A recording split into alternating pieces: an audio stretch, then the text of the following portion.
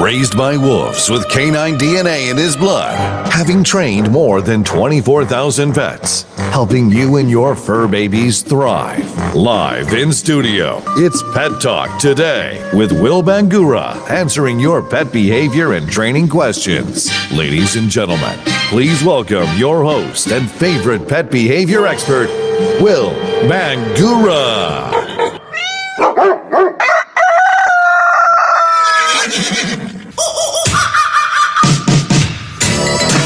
Good Saturday morning, pet lovers. I'm Will Bangura, and you are listening to Pet Talk today.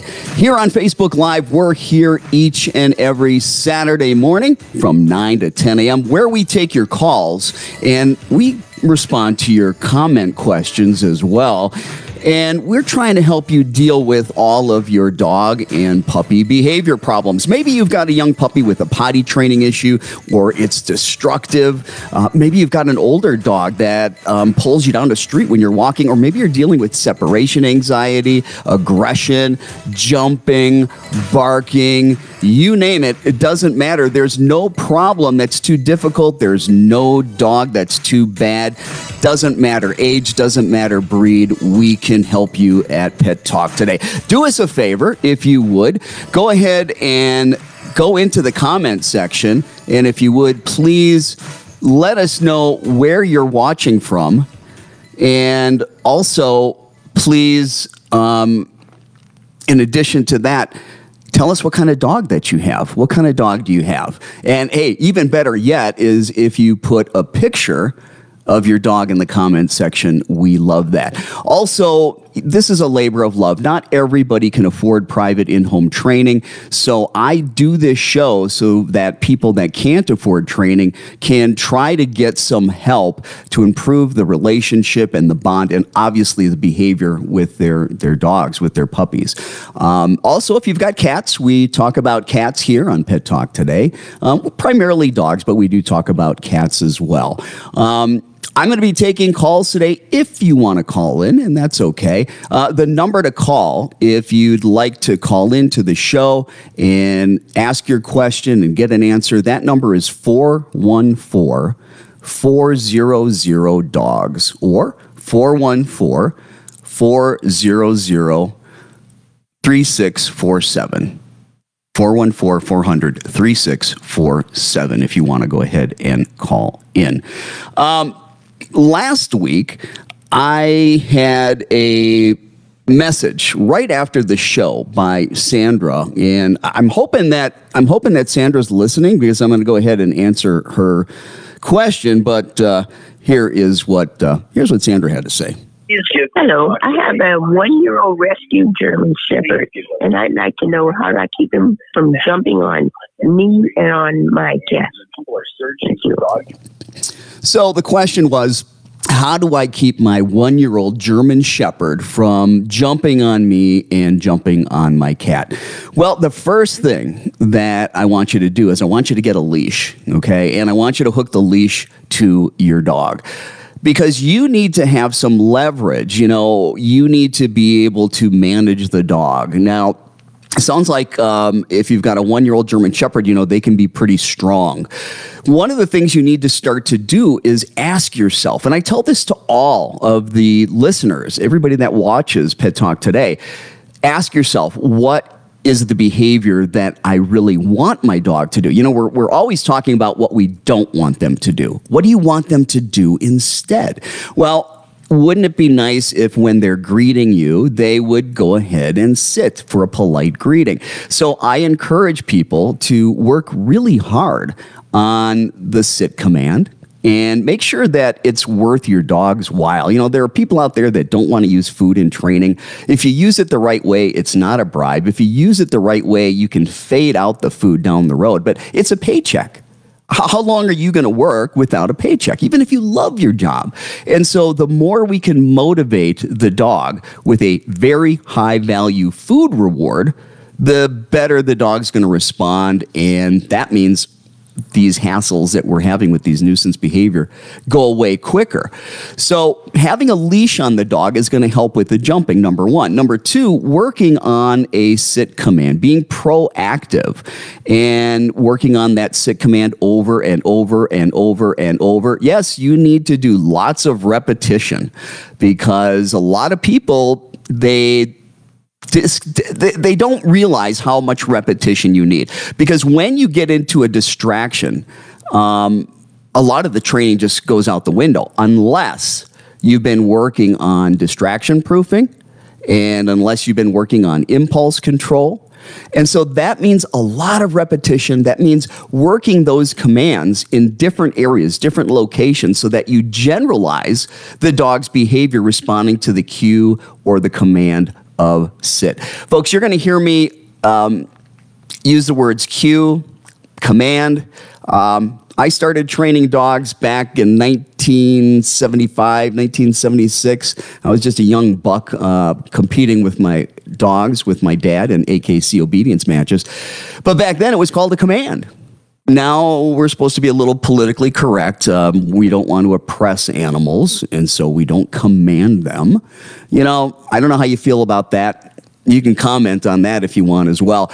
But we're supposed to call it a cue and no longer call it a command. So I'm trying to be. Uh, trying to be a little bit nicer and uh, and do that. Um, one of the things that I wanted to do today as well, and that was I wanted to go ahead and uh, spend a little bit of time today, if if we have the time, and I think we probably will, talking about clicker training. Now we could just as easily call that marker training, but when we're talking about clicker training that is something that's really, really powerful. And some people know what clicker training is, but they're missing a couple pieces. Some people don't know at all. Some people think they know and they've got it completely wrong. So I'm going to be talking um, about that as well. Again, if you're just joining us, I'm Will Bangura, and you're watching and listening to Pet Talk today. We're here each and every Saturday morning from 9 to 10 a.m. on Facebook Live. Do us a favor, share this video, share our page to your page so that more people can benefit from this. And please do us a favor and uh, like, go ahead and click that like button down there and click the share button as well. Um, the other thing I'm going to be talking about today, um, we've got a couple current event news items. I'm going to be talking about a different kind of dog food and also going to be talking about a, a new medication um, that helps to induce dogs vomiting. But going back to Sandra, who asked the question, she's got the one year old German Shepherd jumping on her, jumping on her cat. All right, let's talk about the cat for a second. And we'll get back to you and the dog jumping on you. Again, having the leash on the dog to help prevent the dog from chasing after the cat. And again, giving the dog something specific to do. Um, we call it differential reinforcement, a different behavior. We want to make that trained behavior so much more valuable to the dog than chasing after the cat or jumping on the cat. So I recommend that you get one of these elevated dog cots. You can get them on Amazon. They're like $27. They're raised up off the ground, maybe two inches. Uh, they got like a mesh material, so the air it's it's really good. Dogs love it. You know, it's the air breathes. It keeps them cool in the summertime. It's like their little hammock, so to speak. But you teach them to go to that place and reward them and try to bait them to come off, only to walk into them, put them back onto that place cot. If they don't take the bait, because you're going to distract a little bit, we want to teach them to stay on that dog cot. That's the whole purpose of this, okay? We'll call it place. We'll teach it as an implied stay. And again, you might go, or just a little bit to try to get the dog to come off the cot towards you. And as soon as that happens, walk back into the dog. Use spatial pressure, get the dog to get back on there. If that doesn't work, help the dog with the leash, guide the dog with the leash back onto the cot. Now, the first time you put the dog on the place cot and you command or cue place, make sure that you reward the dog. Okay. And If the dog comes off and takes the bait and you have to re recommand, give the cue again and get the dog back on place, then do not give a food reward because we're making a very black and white cause and effect association. We want the dog to understand hey, when I stay on there, good things happen. I, I get high value food rewards. If I come off, they put me back on and I don't get a reward. Okay. Because your dog, Sandra, cannot stay on that place cot and be committed to that cue, committed to that behavior, that exercise, and come off and chase your cat and jump your cat at the same time. I'm guessing if your dog likes to jump on you and jump on your cat, when you have guests that come over, the dog probably jumps on them as well. And so I encourage you to use that place cot for that as well to manage the behavior.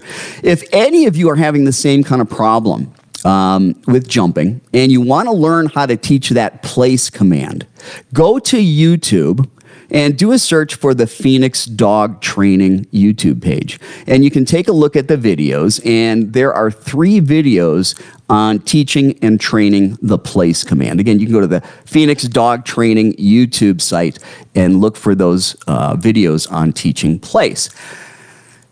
Also, if you do need a private in home trainer, you can contact us at Phoenix Dog Training. You can go to our website, phoenixdogtraining.com, um, or you can give the company a call. Our business line is 602 769 1411. Let's take a look and see. I'm going to go ahead and join you guys live here and see what's, uh, what's happening here. Hopefully that doesn't. Uh, yeah, I don't know if I can do that, but we're going to hopefully. Now, if I lose the feed today, because those of you that have been following the show for a while know that we used to broadcast out of uh, 1100 KFNX uh, in Phoenix radio.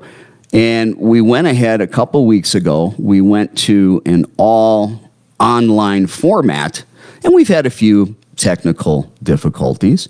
Um, but we are working out uh, those technical difficulties. If for some reason we lose that feed, don't worry, just come back to the page because I will get that uh, started back up um, right away. You don't have to worry about that. Um, so, getting back to Sandra and getting back to other people, you need to teach the dog an alternative behavior. We're so quick, um, we're so quick to want to correct the dog and we haven't taken the time to teach the dog, you know, what it is that we really would like it um, to do. Um, like I mentioned earlier today, um, I'm going to be talking about clicker training, the magic, the power of clicker training. Has anybody, have, have any of you done clicker training? Maybe uh, you bought a book, maybe you worked with a trainer that does uh, clicker training. And it's a very powerful, very powerful way to train um, your dog. When I talk a little bit about clicker training, it's important that we talk about a few things.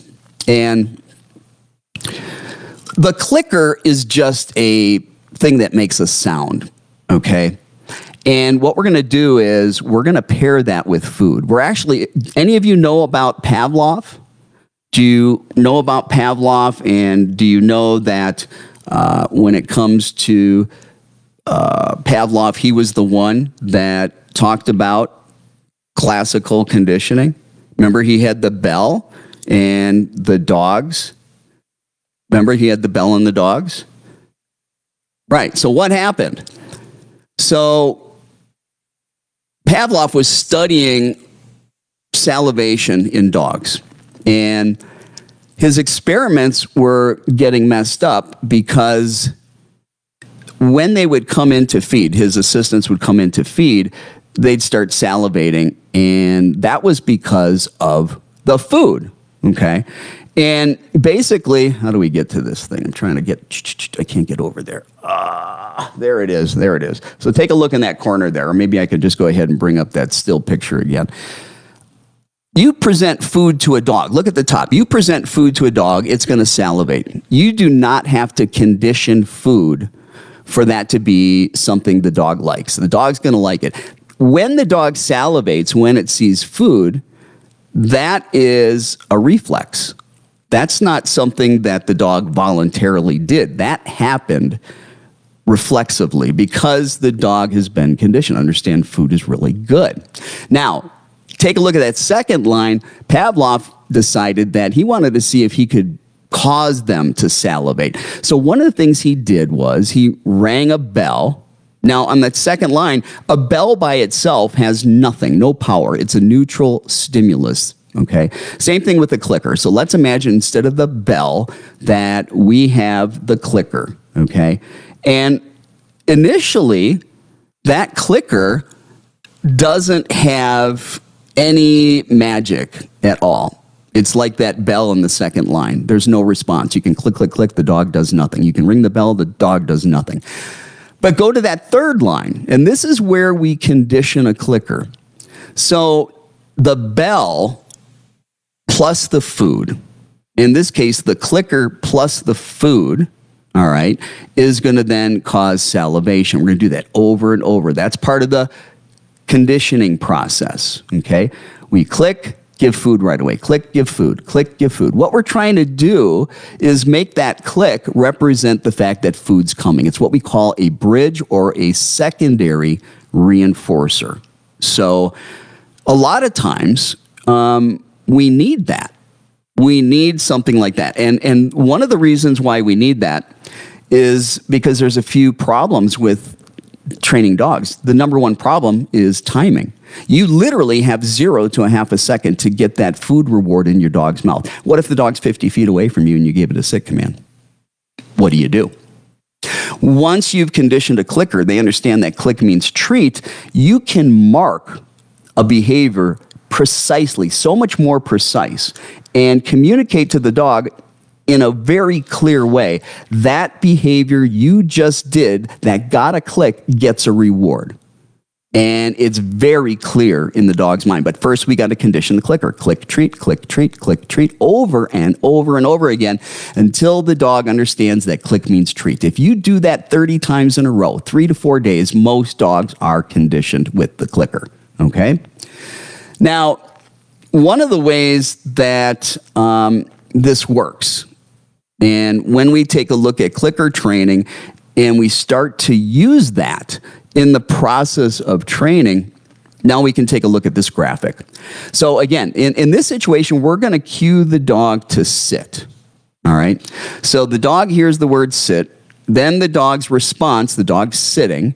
Then we're going to give a click, which is going to represent to the dog, hey, when you sat and I clicked that clicker, that's going to get you a big, big paycheck. So that's when we present the treat. So we ask for the behavior, the dog gives the behavior, we click, and then we give a treat to the dog. And that's how that particular aspect of clicker training works.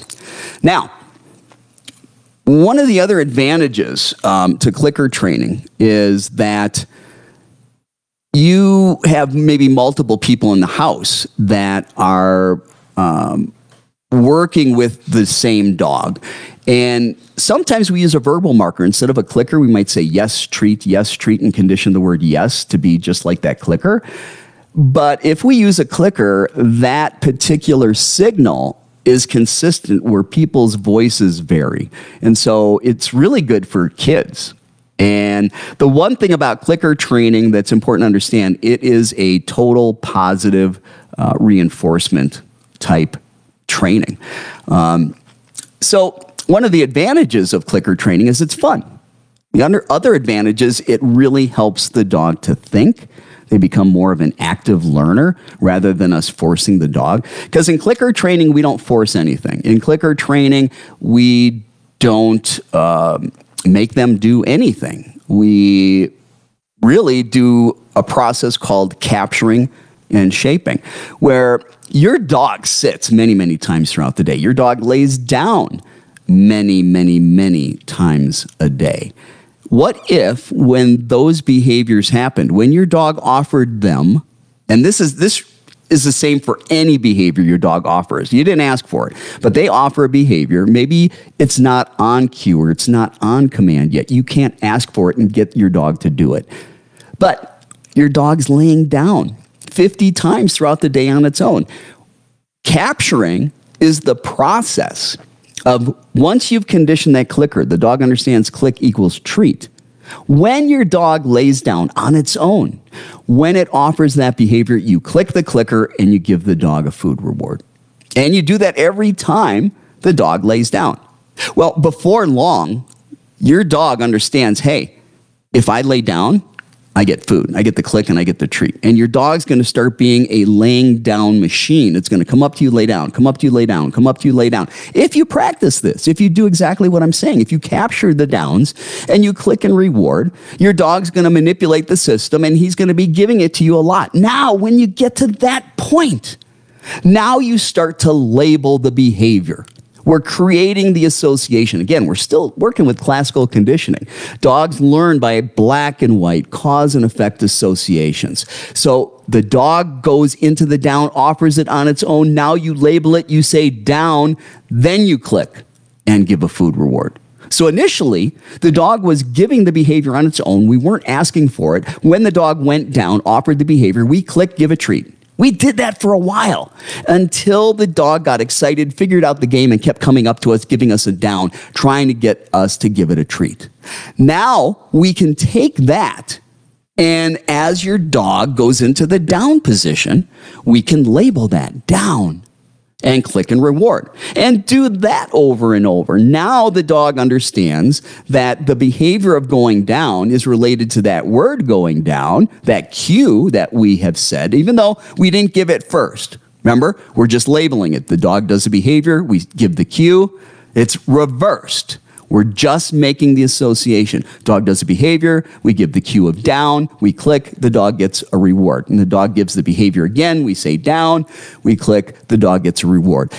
After we've done that several times, many times, you can then ask for it. You give the cue of down, and now your dog is doing the behavior. Okay? And the beautiful thing about that is that you didn't force the dog to do anything. It was fun you know, you really improve the relationship, you really improve the bond when you're using positive reinforcement. Okay.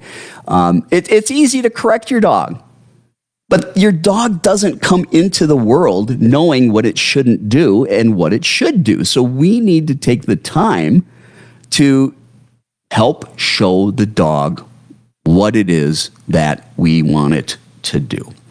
Um, I'm going to talk more about clicker training. And we're going to take your questions. Let me go ahead and open up my, my browser here and see what I got going on here. For some reason, I got three. I got three going on. Let's take a look here. So, Ruth. Ruth has a dog, and Ruth says, Hey, Ruth, her dog barks too much. So let me go ahead and talk about uh, let me talk about that. So first of all, we need to ask ourselves a question: why is the dog barking? What is causing? What is causing the dog to bark? Okay. Um, when we're taking a look at behavior, I'm going to bring up a graphic here so everybody can uh, can see this here. Let's bring up a still.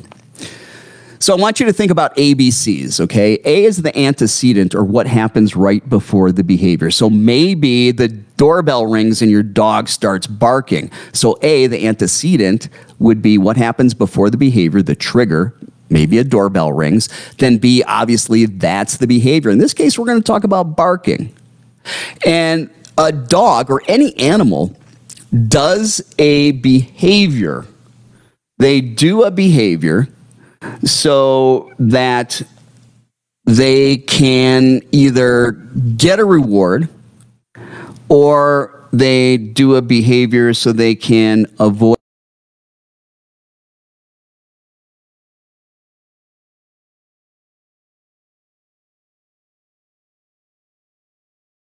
behavior is they do a behavior to get something that they like positive reinforcement you can see it in the corner there and that increases behavior. Every time something happens after they're barking or when they're barking, if what happens is something they like, that's reinforcing, strengthening the barking. They're going to keep on going.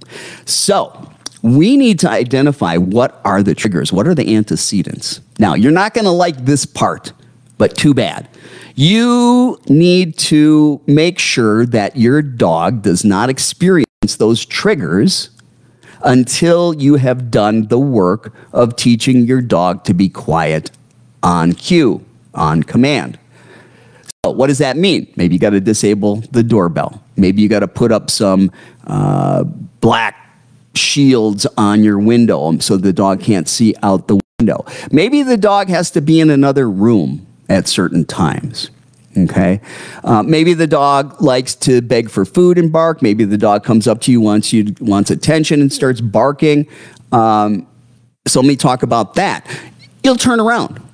Don't give eye contact. Turn around. That's actually negative punishment. You're taking away something the dog wants. If the dog wants your attention, you turn away from it. Then, if that happens every time, that barking is going to extinguish. Okay. Now, here's the other thing, Ruth with barking. Dogs bark all the time. One of the ways you can teach a dog to be quiet, this is paradoxical, actually teach them to bark on command. Right? Remember, I was talking about capturing that down that the dog offered, labeling it, clicking, and rewarding? Do the same thing with barking. Your dog starts to bark, and you can go speak, click and reward. The dog barks, speak, click and reward. The dog barks, speak, click and reward. Before long, with enough repetition and consistency, now you'll be able to reverse the process, say speak, and the dog will bark. Now you can capture quiet. When the dog stops barking, and there's about two to three seconds of no barking, you can say quiet, click and reward. Your dog stops barking a lot. And if you ask the dog to bark, and it stops barking. You can work on labeling the barking. You can work on labeling quiet. You can motivate the dog by pairing that with a click and a reward. You're capturing that. And the more you capture that and the more that you do that, the quicker the dog understands what both of them mean. So then you can ask for the barking, ask for the quiet, ask for the barking, ask for the quiet. And now, because you don't want your dog to completely stop barking, Ruth, you want your dog to alert you, right? You don't want the dog to stop completely. What you want is to be able to give a cue quiet when you've checked things out and everything's okay. And then the dog learns to be quiet. Okay, so Ruth, that is one of the things I want you to start with. Do that. Then come back next week and let us know how things are going. Um, let's see. The next question that we have is from Barbara. Barbara says, My male dog pees all over the house and she's from Stockton, California. She's got two Yorkies, one male and a female. All right, my male dog pees all over the house. Okay, Barbara. Um, one of the things that you need to understand is that you got to start over from scratch with potty training.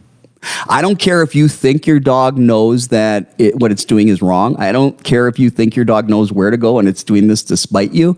That's not what's happening.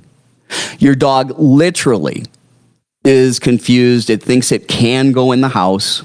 So it does. And you know, when we get these little dogs, I don't know what the weather's like in Stockton. It was like 113, 114 at my house yesterday at Mesa, Arizona. But if it's really hot, I know in Arizona, these little dogs, they don't even want to go outside because it's so hot and we have to desensitize them to going out in the heat. Same thing with the rain. We rarely get rain in Arizona. So a lot of dogs, they don't want to go outside and go to the bathroom in the rain. We got to desensitize them to the rain.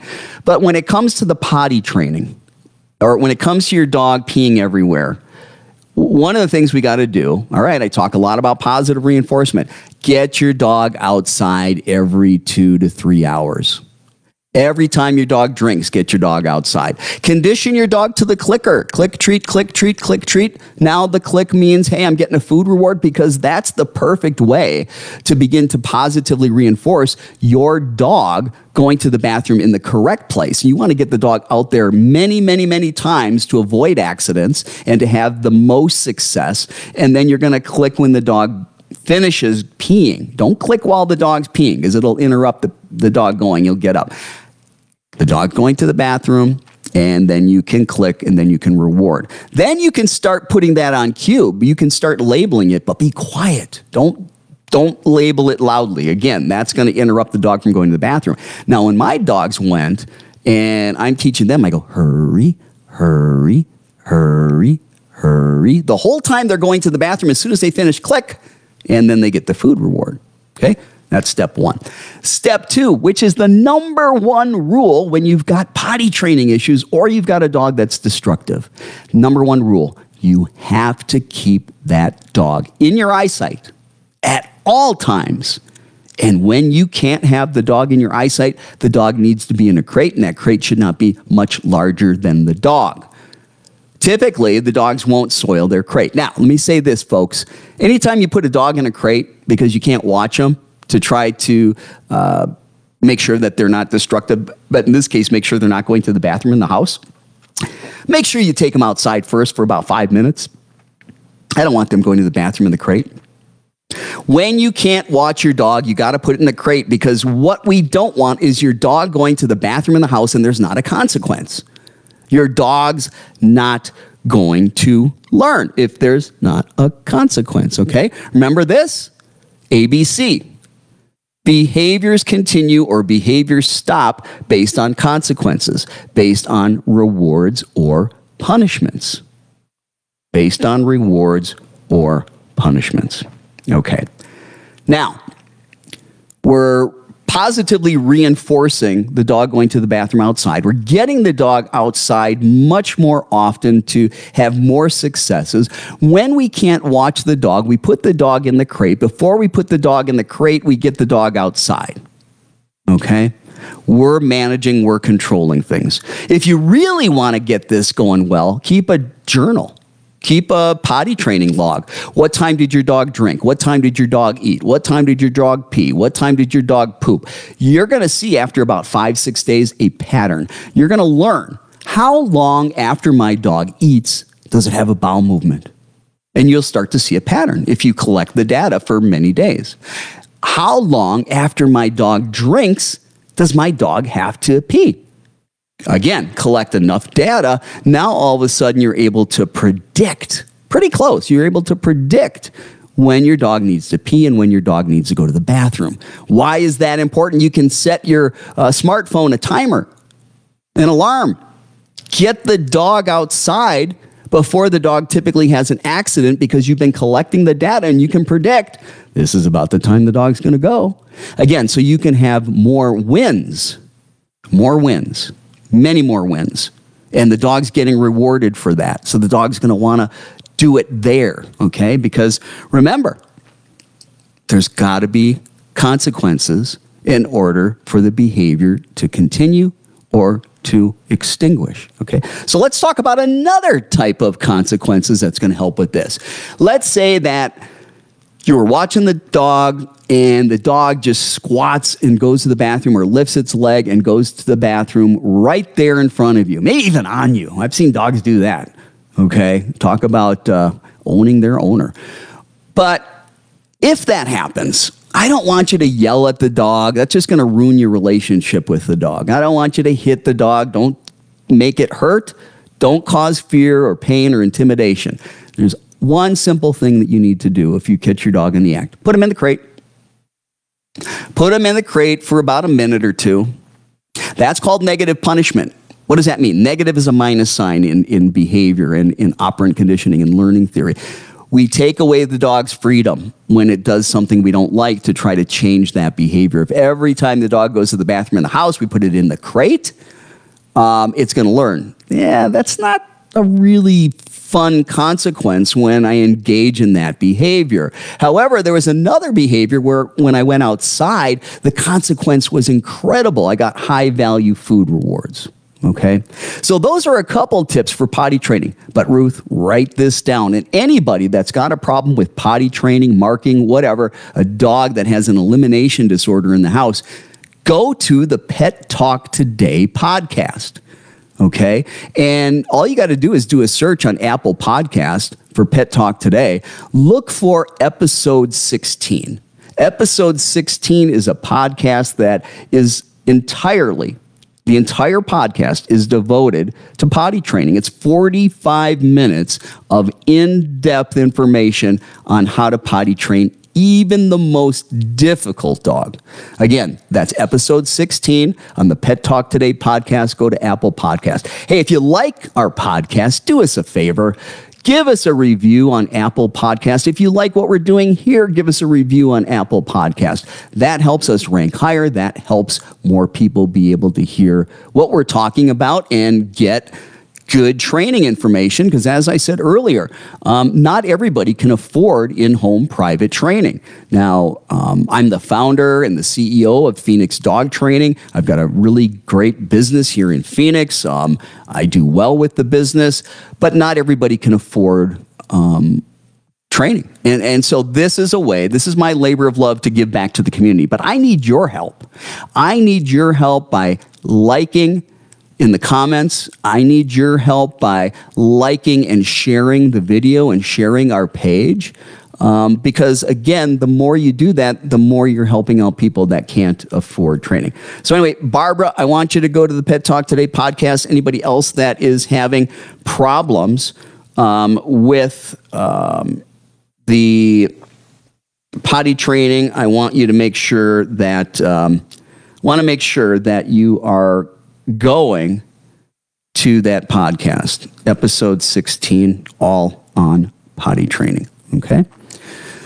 Well, we're going to take more questions um, in just a little bit. If if you want to give us a call, hey, give me a call. I'd love to take your question, put you on air. Don't be shy. The number to call if you'd like to uh, have your question answered on air is 414 400 dogs or 414 400 3647. Hey, give me a call. We'll answer your question. Um, I don't know. Is Patty is Patty listening? She was she had a question last week. Um, she had a question last week about let's see here. She had a question last week about her dog that hates her husband and is being aggressive towards her husband. I talked to her after the show and um, I gave her a lot of homework to do and asked her to uh, make sure that she practiced that. And if she had the opportunity to uh, go ahead and um, give us some feedback on that as well. Um, just looking through your comments here again. Why can't you post pictures, Demir? I don't understand why. Because last week people posted pictures of their dogs. I love seeing pictures of the dog. Difficulty with audio. Gloria says, hey, Gloria, what's going on with audio? Anybody else not hearing me? Anybody else not seeing me? Anybody else have a problem with that? Uh, please let me know. So Barbara says, What are high value food rewards for small dogs? Little bitty tiny pieces of cooked chicken. Two or three pieces of cooked chicken should sit on the head of a nickel. These should be small, really small. Now, watch your dog, right? Sometimes it's subjective. If your dog spits out the chicken, that's not a high value food reward. See, here's the thing it is very subjective. I love anchovies. That's positive reinforcement for me. My sister hates them. She might vomit if she even sees one. That's punishment for my sister. Again, it, it, it, you got to try different things, Barbara. Find something that your dog absolutely loves. Just try different things, okay? Usually it's going to be cooked meat or something like that. But again, really small. When we're training with food, they should be tiny, tiny, tiny food rewards, okay? All right, let's see if we got more. All right, so Julia what if, where'd you go? What if your dog can't do crates? Well, I don't know if you're still listening, Julia. Your dog can't do crates. Um, gosh, if you can call in, I can get more information about why you can't do crates. I don't know if your dog has separation anxiety. I don't know if your dog um, has just anxiety being in that enclosed space in a crate, but there's lots of things you can do. All right. You can start the process if your dog doesn't like a crate by just putting the food bowl and the water bowl in the crate and leave the door open. You know, if your dog wants to eat, it's got to go in there. If your dog wants to get a drink, it's got to go in there. Don't do anything. Don't close the door. Don't say anything. Let the dog go in and out of the crate to eat its food and get its water. And then maybe you put some toys in there and it gets its toys out of the crate, okay? You're you're because a lot of people try to force the dog in the crate, they slam the door shut and the dog screams and cries and then what do you do? You open the door, you give in, you let the dog out. Now, remember, Here, let's go back to it. Remember ABC? Okay? Dogs crying in the crate. That's the behavior. All right? The consequence is you give in and let the dog out. So guess what? Guess what? Guess what? Guess what? Negative reinforcement. The dog felt pressure. The dog did not like being in the crate. And as soon as you let the dog out of the crate, that pressure, that something the dog didn't like, got removed. Remember, reinforcement means strengthen. So that strengthens a behavior. They learn that behavior becomes very, very functional.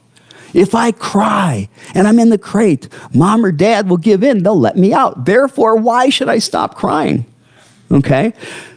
The other thing you need to do besides feeding in the crate and putting water in that crate is you need to play the game of tossing a treat in the crate that high value, high value food reward. Your dog goes in the crate when all four paws are in there and it goes to get that food treat right before it grabs that food reward that you tossed in the crate, click.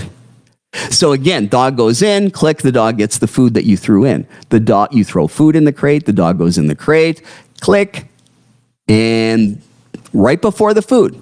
So now we're creating associations. The dog starts learning, mm, this behavior gets me a food reward. All right? But you gotta precondition the dog to the clicker first. Okay? So once you've got that, now you can start just like everything else. I mean, there, a lot of this stuff is similar. Now you throw the food in the crate, the dog goes in there, label the behavior kennel, then click and treat. Throw the food in the crate, the dog starts to go into the crate, say kennel, click, the dog gets the food over and over and over. Then, after you've done that for several days, you know, you've been throwing the food in the crate with your hand, okay? Fake the dog out. Go like that, but don't have food in your hand. Have food in a treat pouch, but not in your hand. Go like that and say kennel and see if the dog goes in. The dog does. Click. Now throw some food in that crate. That makes sense? After you've been throwing the food in the crate first and the dog followed and you've been labeling it kennel and you click and the dog eats the treat and you've done that for maybe a week, now don't have food in your hand, pretend you do. Go like this towards the crate door and say kennel, just like you did if there was a treat. See if the dog goes in. Now, what does this become? It becomes a hand signal. And you can begin to open that hand little by little as you do that. Make sure that you're clicking and rewarding the dog. Now, maybe the next part is we've got to work on having the dog in there with the door closed for three seconds, and then five seconds, and then 10 and then a minute. Do it very, very gradually. But dogs are great at picking up patterns. If your dog is nervous about being in the crate, if your dog has separation anxiety, if you keep leaving the dog for little and little and little more time 10 seconds, 15 seconds, 30 seconds, a minute, two minutes, three minutes, four minutes you get the idea. Okay? If it keeps on getting longer each and every time, the dog's going to figure out there's a pattern and start getting anxious. Oh my God, each time it's going to be longer. Yeah. Dogs are great at figuring out patterns. So you've got to trick the dog. You go out, you go out for a second, you go out for three, you go out for five, you go out for one second, come back. You go out for 15 seconds and 30 seconds and 45 seconds, and then you go out for three seconds. You've got to toggle back and forth between adding more time away from the dog and then giving some really short duration when you're doing it. Now, you've got to do this three to five times a week. The, you're going to do this about, uh, oh, 5, 10, 15 minutes each time. But if you spend a couple weeks doing this, then you shouldn't have a problem with that. Okay, let's see what else we have here. Having poor reception. Anybody else? Well, nobody else has. Oscar, Tara, how are you? Lambo and Zelda. Thanks for watching, everybody. By the way, if you're just joining us, I'm Will Bangura, and you've been listening to and watching Pet Talk today. We're here each and every Saturday morning from 9 to 10 a.m., where we take calls and we take your questions in the comments section and provide you with practical solutions to your dog training and puppy training uh, and behavior problems. So if you've got a question about a dog, if you've got a behavior problem, if you'd like some advice, go ahead and type your question into the comments section. Let us know where you're listening from as well. And please do us a favor, like, click on that like button and go ahead and click on that share button as well. We really appreciate that. Um, let me go to, let's see here. Is this the same crate I put him in for peeing in the house? Yeah, absolutely, Patty. I mean, you should have one crate that you use, okay? And well, you could have several crates, really. Uh, it really doesn't matter. I, I, should say that. If you only have one crate, fine, use that one. If you have more than one crate, use a different one. It really doesn't matter. Uh, the whole idea is that you put them in the crate, okay, when they have an accident and that's negative punishment. And that is a consequence that they're not going to like. And so that's part of how we would, uh, we would deal with that. Patty, Patty, Patty, where are you, Patty? Well, guess what? Patty was really nice about letting me uh, record her question. Um, Patty for short. Um, I have a problem with my dogs. I we just adopted them about three and a half weeks ago, and for some reason they're extremely afraid of my husband. Um, they're they're poodles. They're uh, very small dogs. One is a little bit smaller than the other. anyway, I'd like to have some help in trying to get them to not be so fearful of my husband. Um, what what happens when they see him when he comes out of the bedroom in the morning they start barking. The little one growls at him and charges at him. Um the the one that's a little bigger she's so afraid that she would tremble all over. I adopted them or we adopted them from a shelter here close by in arizona chance shelter. Um they're both poodles. Um they don't have much training. Uh, we even have to try to housebreak them because they're they're not housebroken. They're t- about two years old. I was told. I don't know what to do to she gets a little uh, get them to not here. be so afraid of my husband. My husband's tried all kinds of things to get them to not be afraid of him, and nothing's working. If you could help, I really appreciate it. Oop, wrong one. So let's talk about this. You know, now I talked to Patty. I was hoping she'd be able to be here this week, but apparently she wasn't able to be here. Um, this is when we start talking about classical counter conditioning. And counter conditioning is just a fancy word for pairing something positive, a trigger, turning a trigger into something positive where right now it's something bad or miserable for the dog. In this case, these rescue dogs that they've had for a little while, and these dogs probably had trauma. There's probably all kinds of stuff, but it takes a while. It can take, you know, two to three months before you really see what these dogs are about when they get into a new home. But right now, they're scared to death of your husband. They're growling at your husband. This is a big, big, big problem. Okay, here we go. Back to this graphic, the ABCs. What's the antecedent? What's the trigger? It's your husband. We know what the behavior is. What's the consequence? What's the reinforcer? Yeah. So what was happening is Patty's husband is now leaving the room, creating distance and space when the dog growls and barks and lunges at him. So this behavior that the dog's doing becomes functional because the dog views the husband as a threat and he wants that distance. And so when the dog engages in that behavior and her husband moves back, that's exactly what the dog wanted. Again, this is negative reinforcement. The husband is pressure. The husband is aversive in the dog's mind. All right, remove the husband, you remove the aversive, you remove the pressure. That will reinforce the behavior of growling. So the first thing we need to do, and I told Patty, we've got to stop reinforcing the behavior. And then the other thing that Patty was doing, she was positively reinforcing the behavior by picking up the dog. Okay.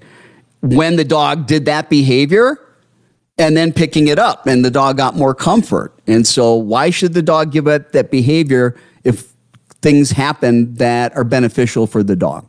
Okay. So we got to take the things that are beneficial to the dog. We got to remove those consequences. We got to remove the reinforcers first and foremost because we're never going to stop the behavior. We need to remove the trigger. What does that mean? Husband got to move out of the house? No. However, all right, when the husband is out and about for now, temporarily, the puppies, the dogs, the rescue dog should be in another room, preferably crated. Now, I don't want them living in that crate. Trust me. Okay.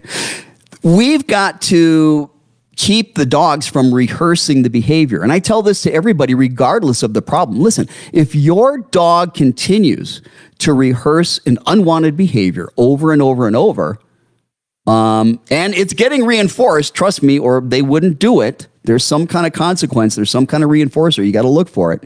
But if the dog continues to rehearse the behavior, it is going to get more deeply conditioned. It's going to be very difficult to counter condition that behavior out. So let's talk about how do we counter condition? How do we pair something positive? Okay. Remember the dog wanted distance from her husband? So the first thing we do when we expose, exposure therapy, counter conditioning, desensitization, when we expose the husband to these dogs, it has to start at a very, very far away distance. They got to be able to see him. They got to be able to know he's there. But the distance between the dogs and the husband needs to be a distance where those dogs don't have a care in the world. Because here's what we're going to do we're going to have the husband come out from around the corner as soon as he appears feed, feed, feed, feed, feed, feed, feed continuously, constantly, high value food rewards. Then the husband goes out of sight. Then, as soon as the husband's out of sight, boom, we stop feeding. Wait a few seconds. Let the dog settle. Husband comes out from around the corner. As soon as the dog sees the husband, feed, feed, feed, feed, feed, feed, feed, constantly and continuously for a few seconds. Then the husband goes away. Stop feeding. As soon as the husband's out of eyesight, stop the feeding. So, what we're doing is we're pairing high value food rewards to the trigger, but we've got the trigger, the husband, at a far enough distance where the dogs don't have a care in the world. Listen, if your dog has even got the slightest bit of concern and anxiety, when you're feeding, you're just reinforcing the anxiety, that state. We need to be creating associations. We need to be reinforcing. We need to be feeding that relaxed or neutral state where the dog doesn't have a care in the world. Now, don't worry about whether or not your dog begins to understand or like your husband yet. What we want to worry about is we're, we're teaching a game. Trigger comes out, you get food, trigger goes away, food goes away. Trigger brings good things. In this case, your husband's bringing these good things because it's paired and associated with him. At some point, if your timing's good, your dog is going to figure out the game. And when it sees your husband, when it sees the trigger, boom, it's going to look to you to get its food if it's hungry. Do this when your dog's hungry. Don't do this when your dog has just eaten. Okay? Do this when your dog's hungry. When your dog learns that game and starts looking at you for the food, as soon as the trigger comes out, now that's a signal that you can move the trigger Uh, your husband a little bit closer to the dog. Don't get greedy though. Don't go so close that the dog starts getting anxious. Again, the distance we do the counter conditioning, the distance we're pairing high value food rewards with the presentation, with the exposure of the trigger, the husband, all right, the dog can't have a care in the world. This is slow it's a very slow, gradual, systematic approach to desensitization and for counter conditioning. Um, this can take weeks, it can take months. Um, you can only work as fast as the dog is willing to go. You got to work at the dog's pace. Otherwise, um, the dog experiences stress, anxiety, and you're reinforcing that. But I'm going to tell you the people that do exactly what I'm saying, they avoid the triggers I know it's hard. I know it's hard. But what's the alternative? Dealing with the behavior? That's hard too. Okay? Get rid of the get rid of the triggers, even if that means removing the dogs. Okay? Stop reinforcing the behavior. Start being very, very proactive and do counter conditioning and desensitization. And you need to do that three to five times a week or forget it. It's not going to do anything. Three to five times a week. Your sessions are going to be five, 10, 15 minutes long. They're going to be short. Okay. But if you'll do that, oh, looks like we got, hey, it looks like we got a call here. Let's see here. Trying to get you on here. Pet Talk today. How can I help you? Hi, is this Will? This is Will. Who's this? Are you calling Pet Talk today? Yeah, I am. Okay. Um, I spoke. I spoke to you last Saturday. My name is Patricia Rohan. You know, Patty, were you Um, listening on Facebook? Because I was just telling the story. Uh, You know, I just I've been having such a hard time this whole week that um. Patty, let me just say I- something. I've got you on on the air. So Okay. if you don't want to say something for everybody to hear, don't say it, okay? How did think, Okay. did you practice some of the stuff we talked about? Oh yes, I absolutely, and that's the thing. Um, I've been trying to do exactly what uh, the email that you sent me. I've been trying to do that with my husband. Yes. Um, unfortunately, my husband isn't available all the time, and that and he's the one that needs to be in here more than any of us because it's because they don't they're afraid of him that Right. that this whole problem is happening. How often is he Um, available? Well, lately it's been really difficult. Because First of all, he's been he's had a bad reaction to the um, vaccines for COVID nineteen, Okay. and um, he he's just extremely extremely tired. Yeah. So that's one problem. The other problem is that when he can do go do things, he he's out doing them, and and that leaves him out of the picture. So that's the biggest problem, I think. All right. Now, here's the Um, thing. Here's the thing, Patty. I'm, I'm going to give you a little bit of tough love here, okay?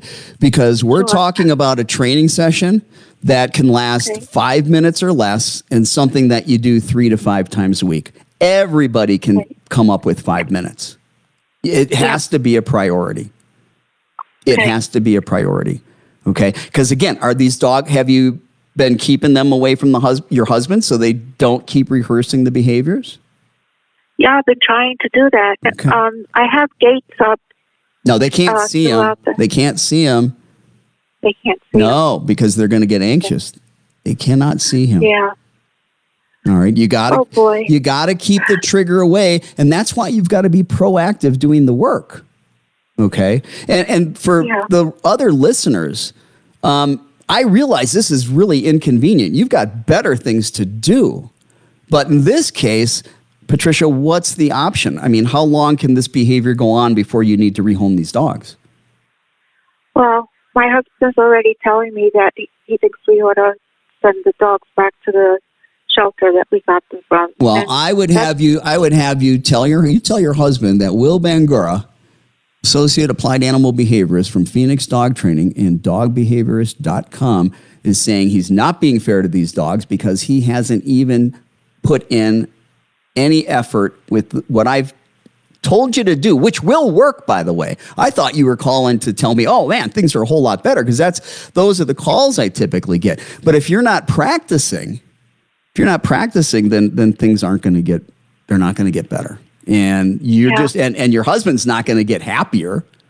Okay? And guess Nope. what? How old are these dogs? Well, we were told at two years old. Okay, so here's the thing, and I don't know if I told you this last week, and, and everybody that's listening, the number one cause of death, the number one cause of death for dogs under the age of three, you know what it is?